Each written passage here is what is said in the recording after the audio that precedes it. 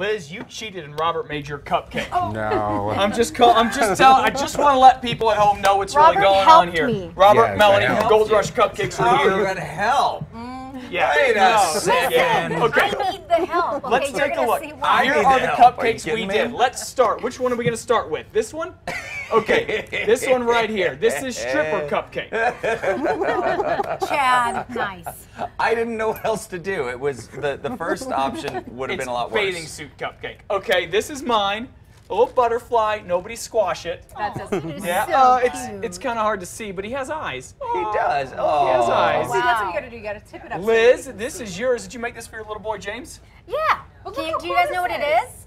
Is? Liz, I'm gonna give you props. That is cool. Okay. Okay, actually, Robert, I'm going to give you props because that's really cool. Okay, No. that's true. It is. It was And Robert's. Cassandra, what did you make here? Oh come on. It's, it's I- well, it's the hard to see from this it's angle. the love cupcake. The love cake. arrow going Because she's in love. Yeah. She's gonna get married No, soon. that's very true. Oh, But that's- on, on a side note, I did shot. make a sun in a cloud. Oh, I also Oh, I also made another one. I made a bathing suit. I made a bikini cupcake too. Um, so, can people come into your shop and actually decorate themselves, or no? Not yet. We Not already, yet. yeah, we've had a lot of requests for people wanting to do parties and, and you know learn how to decorate. So Okay. we're working on that.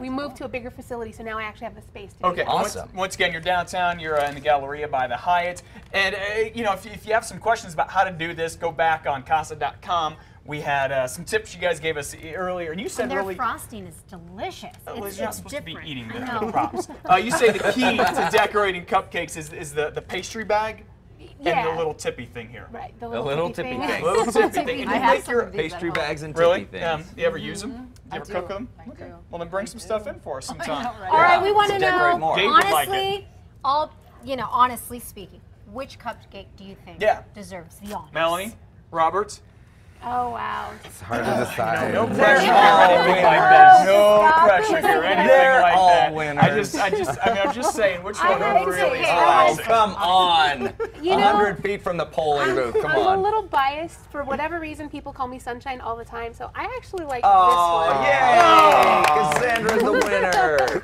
Good job. Go to casa.com. Beginner's luck, maybe. Um, we're going to auction off Cassandra's cupcake. No, we're not. We're going to eat it. We'll be right back with much